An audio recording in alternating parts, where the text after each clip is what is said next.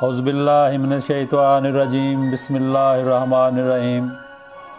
ਅਲਹਮਦੁਲਿਲਾ ਅਲਹਮਦੁਲਿਲਾ ਅਲਹਮਦੁਲਿਲਾ ਤਕਰੀਬਨ ਅਸੀਂ 8 ਮਸ਼ਕਾਂ ਜਿਹੜੀਆਂ ਨਾ ਜੀ ਉਹ ਕਰ ਚੁੱਕੇ ਆ ਤੇ ਨਵੀਂ ਮਸ਼ਕ ਜਿਹੜੀ ਆ ਅੱਜ ਕਾਫਲ ਫਕਾ ਦੀ ਜਿਹੜੀ ਆ ਇਹ ਸ਼ੁਰੂ ਕਰਨੀ ਆ ਕੋਸ਼ਿਸ਼ ਇਹ ਆ ਕਿ ਮੈਂ ਤੇ ਇੱਕ ਪਨੀਰੀ ਆ ਲਗਾ ਰਿਹਾ ਵਾਂ ਕਿ ਜਿਹੜੀ ਪਨੀਰੀ ਹੁੰਦੀ ਆ ਉਹ ਇੱਕ ਤੋਂ ਦੂਸਰੀ ਜਗ੍ਹਾ ਮੁੰਤਕਿਲ ਹੁੰਦੀ ਆ ਤੇ ਫੇਰ ਜਾ ਕੇ ਉਹ ਇੱਕ ਤਨਾਵਾਰ ਦਰਖਤ ਜਿਹੜਾ ਨਾ ਬਣਦਾ ਵਾ ਤੇ ਮੈਂ ਉਹ ਪਨੀਰੀ ਲਗਾ ਰਿਹਾ ਕਿਉਂਕਿ ਖਤਾਤੀ ਜਿਹੜੀ ਆ ਖੁਸ਼ਖਤੀ ਖਤਮ ਹੁੰਦੀ ਜਾ ਰਹੀ ਸੀ ਤੇ ਉਹ ਇਹਦਾ ਖਤਮ ਹੋਣ ਤੋਂ ਬਚਾਉਣ ਵਾਸਤੇ ਕਿ ਜੋ ਵੀ ਮੈਨੂੰ ਆਉਂਦਾ ਵਾ ਮੈਂ ਤਾਂ ਕਿ ਇਹਨਾਂ ਨੂੰ ਦੱਸਣਾ ਸ਼ੁਰੂ ਕਰਾਂ।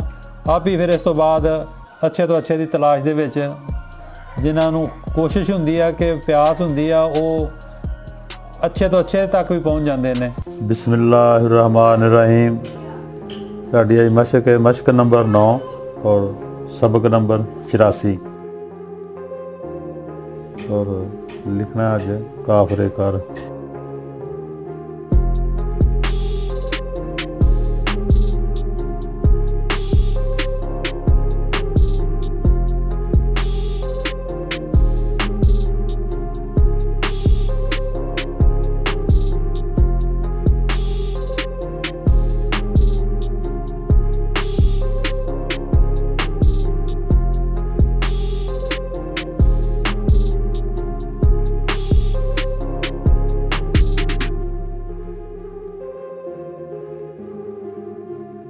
ਇੱਕ ਤੇ ਇਹ ਕਾਫ ਸੀ, ਦੂਸਰਾ ਇਹ ਕਾਫ ਜਿਹੜਾ ਨਾ, ਇਹ ਕੋਨੇ ਦਾ ਬਣੇਗਾ ਔਰ ਇਹ ਚੀਜ਼ ਤੇ ਉਹ ਹੀ ਬਣੇਗੀ ਜਿਹੜੀ ਪਿਛਲੇ ਕਾਫ ਦੀ ਬਣਾਈ ਗਈ ਹੈ।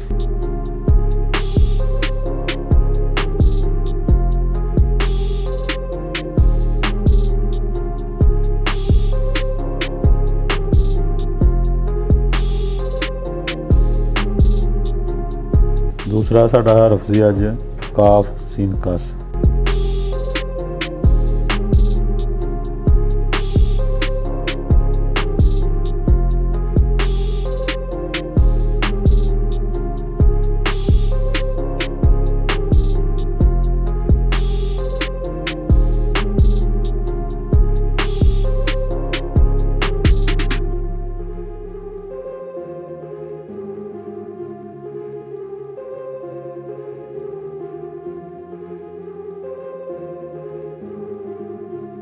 ਦੂਸਰਾ ਇਹਦੇ ਵਿੱਚ ਕਾਫ, ਸੀਨ, ਕਸ, ਉਹ ਇਦਾਂ ਲਿਖਿਆ ਜਾਂਦਾ ਵਾ ਡੰਡਾ ਤੁਸੀਂ ਇਹ ਵੀ ਬਣਾ ਸਕਦੇ ਜੀ।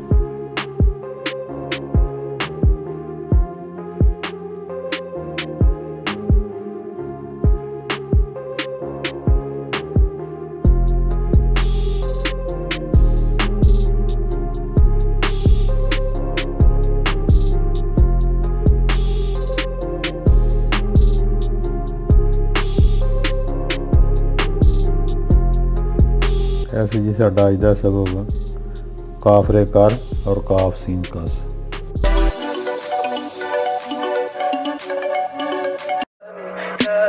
Tell me pretty lies, look me in the face.